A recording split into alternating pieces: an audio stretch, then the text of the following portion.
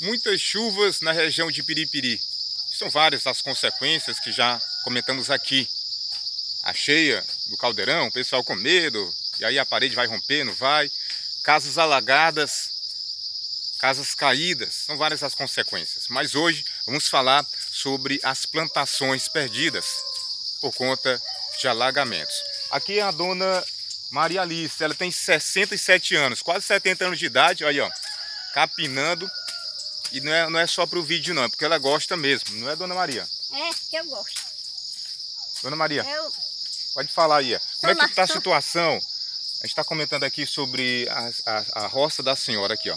Tudo perdido, infelizmente. Milho, feijão, macaxeira. Como é que está a situação aí? Como é que foi esse ano para a senhora no que se refere aqui à sua roça? Referente à minha roça, que esse ano eu perdi a plantação, mas se Deus quiser, para o ano eu vou plantar de novo.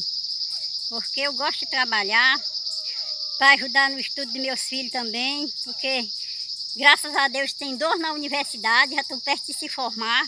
E através da minha, da minha lavura é que eu estou mantendo meus filhos. Não tenho mais marido, sou viúva, mas nós era lavrador todos dois e continuou. Eu tenho até a música do. Vou gravar até a música do lavrador. Acorda, irmão, vamos juntos caminhando procurando alguém para ajudar. Aqueles que não têm salário certo, não têm um palmo de terra, não têm casa para morar. É trabalho, é justiça para todos. Vai meu povo, vai meu povo combater o grande mal. É trabalho, é justiça para todos. Vai meu povo, vai meu povo combater o grande mal. Acorda, irmão, vamos juntos caminhando, procurando alguém para ajudar. Aqueles que não têm salário certo, não têm um palmo de terra, não têm casa para morar.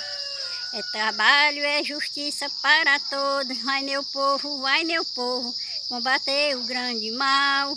É trabalho, é justiça para todos. Vai meu povo, vai meu povo, combater o grande mal. Aí, a dona, dona Maria cantando aqui, Dona Maria Alice, que apesar de ter perdido toda a plantação, segue firme, segue forte, com a esperança, com Deus no coração, não é verdade? E que vai plantar ainda mais. No ano passado, ela conseguiu tirar da sua roça 100 litros de feijão. Deu por ano todo, ainda sobrou um tiquinho para este ano, foi? Foi.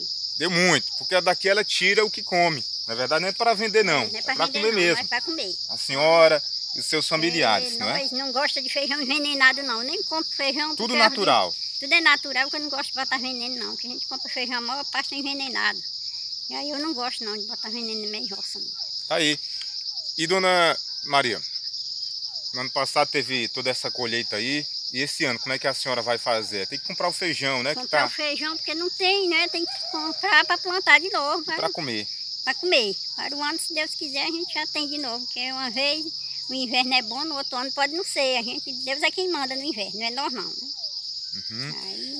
E você espera, nesse momento, é, que é, a Defesa Civil já veio aqui, já analisou, já esteve aqui na região, porque é uma região que não só a senhora teve a, a, a plantação alagada, mas também vizinhos seus aqui, né? Já vi alguém aqui para dizer como é que vai ficar a situação da senhora, para ver os prejuízos, né? Por uh -uh. conta disso aí? Ainda veio não, veio ninguém não. Só mesmo Deus que está vendo nossa situação. É a situação aí dona, é, da dona Maria Alice, que é esperançosa, gosta de cantar, é muito feliz, não se deixa abater, não é verdade? Mas não deixa de ser uma situação triste, né? É, assim como a dona Maria Alice, dezenas, centenas de outros agricultores na região estão prejudicados por conta é, da perca das plantações, do milho, do feijão, em situação de alagamento. Nós estamos aqui também com o agricultor, vereador, ex-presidente do Sindicato dos Trabalhadores Rurais, coordenador do polo da FETAG, que está aqui é, observando, né, já viu a situação, conversou também com a dona Maria. É, Totonho, essa situação, como é que você observa? Aqui é um exemplo do que está acontecendo por conta desse forte inverno, né? Com certeza. O semiárido ele é assim, tem a região que é mais alta, tem a região que é mais baixa. E no município de Piripiri tem essa peculiaridade, nessa essa diferença do bioma na serra e aqui também na Chapada. Como nós estamos aqui é, nos vales, aqui muito perto do, dos rios, aqui na Engazeira, aqui precisamente na Malhadinha, é bem visto que nessa região aqui tem uma área baixa que o trabalhador planta muita macaxeira, batata, e ele consegue também a plantação de feijão e ele consegue ter sucesso. Esse ano, por falta de recomendação técnica, os trabalhadores se arriscaram a plantar em vários locais que vem tendo essa dificuldade. Não é só aqui. Se for fazer um levantamento no município todo, nós vamos ver que são centenas e centenas de trabalhadores que essa hora está comemorando fortes chuvas, mas está exatamente com a dificuldade, porque não vai ter a mesma produção do ano passado. Aquela história da produção e a produtividade. Ela que perdeu foi tudo. Ela nem vai ter produção e muito pior produtividade, que é o tanto que ela vai colher. Então ela perdeu o feijão, perdeu o milho, perdeu a macaxeira, o caju está amarelando e tem um tipo de vegetação nativa que ela está preservando aqui, que é o sabiá, que até está caindo. O sabiá está amarelando e está caindo, virando, porque ele não aguentou exatamente a força das águas. Porque embrejou o terreno, o que foi de, de ramas acabou. A abóbora está aí. A abóbora também amarelou, não vai prestar de jeito nenhum. Ela levou um prejuízo total aqui. É tanto que ela está agora capinando mesmo na lama, já pensando de plantar essa área úmida lá para o mês de junho, porque agora também não vai dar de plantar no mês de maio. Aqui está muito embrejado. Nessa sequência aqui, nessa região aqui que sai da Vila Antonino, seguindo até o assentamento é, Santa Terezinha, e aí vai até a região aqui, mais depois mais no alto da Engazeira, Aroeira, por exemplo, nessa faixa bem aqui, todos vão perder. A não ser que seja um arroz lajeado, um, arroz forte, ou aquele arroz que ele vai exatamente ser colhido no mês de junho. Mas dessa área bem aqui, ela não colhe nada. Tá bem que o vizinho dela perdeu a macaxeira, foi arrancada já puba. Aqui a gente arranca, vem só o cambão, a raiz fica dentro do chão. Estourou a idade em tudo quanto é lugar. Então o lamento dela aqui é o lamento que nós que somos representantes legítimos dos trabalhadores rurais, podemos dizer assim, vê a chuva de água que Deus mandou, mas falta a chuva de honestidade.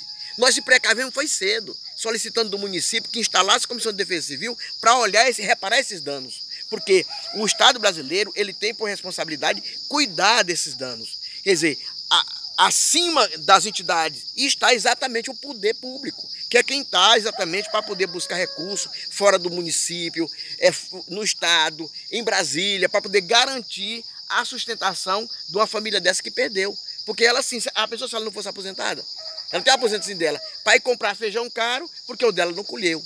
Então isso é lamentável. Ainda bem que ela disse que ainda tem uma sobra de quase 50 litros de feijão que foi da safra passada. Sim. Mas ela quer estocar para mais tempo. Só tem dois cocão, então, né? Dois cocão, dois né? cocão de feijão, meu Deus do céu. Então, nós acreditamos que enquanto não tiver uma, a política pública, aonde tem um político honesto que possa garantir o sustentáculo do, da, do povo brasileiro, principalmente o nordestino que planta numa área dessa, que aqui é a área dela, plantou aqui porque é dela. Ela é própria dela. E ela tem mais, uma, tem mais uma, uma coisa importante nela. É que ela planta orgânico. Ela planta o feijão, tudo que é dela aqui é orgânico, ela não coloca veneno. Não, não Se ela tivesse colocado veneno, talvez ela tivesse colhido um pouco antes. Uhum. Mas ela não, ela quer colher da terra dela o orgânico para não ter problema. Praga não contaminasse, para não contaminar não a, a, as frutas, para não matar os animais. E ela também tem mais tempo. Por isso que ela está aqui com essa lucidez toda, com 67 anos, desse jeito aqui com a voz, cantando e tudo, porque ela come orgânico.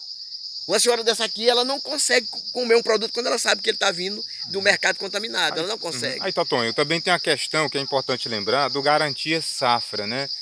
Para as pessoas entenderem o que é o garantia safra e piripiri está inclusa, como é que é? Porque o município tem que solicitar, né, previamente, como é que está essa situação? Porque seria o caso da dona Maria, e outros aí? O tempo que nós tivemos mais difícil foi quando Piripiri não era enquadrado no semiárido nordestino.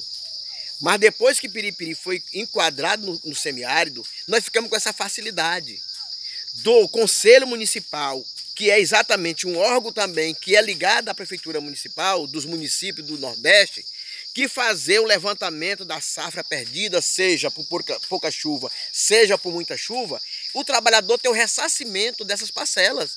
O trabalhador contribui, o município contribui, o Estado contribui e o governo federal também. Esse recurso ele é para suprir a necessidade do trabalhador. Infelizmente, nós estamos com grande parte de políticos cabeça dura, inclusive Piripiri tem um que a cabeça é dura e não consegue compreender isso, e nós estamos levando problema, levando bofado de todo jeito.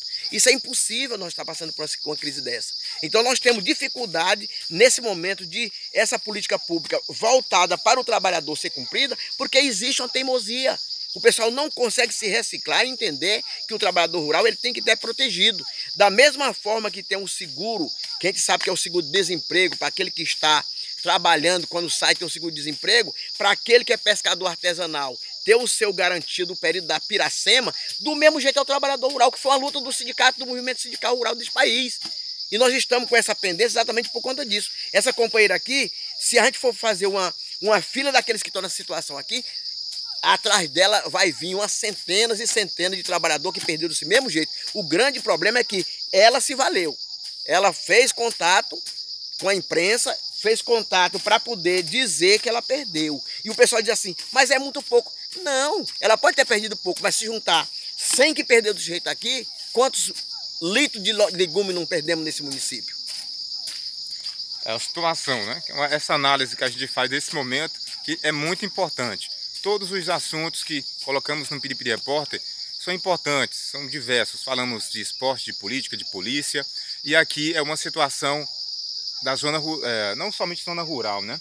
Que, é um, que as plantações também tem na zona urbana. Mas uma situação que, é, que acaba prejudicando principalmente o trabalhador que mora na zona rural, que é o principal, é, a maioria dos profissionais da lavoura, do campo, da roça, como o caso aqui da dona Maria Alice. Sorridente, a maior parte do momento, né? Sorri bastante, mas aqui não deixa de ser uma situação. É porque sorrir, alegria é uma coisa do, do piripiriense, né? Do piauiense. É, buscar alegria em algumas coisas, não é verdade? É, mesmo diante de uma situação que não é tão feliz, não é verdade? Que é importante também manter o sorriso em situações tristes. É uma qualidade do piripiriense, do piauiense e, é claro, que da dona Maria Alice. É um orgulho piripiriense ver conversar e ter essa inspiração toda. Moisés Lopes, direto aqui da roça de Dona Maria Alice, para o Piripiri Repórter.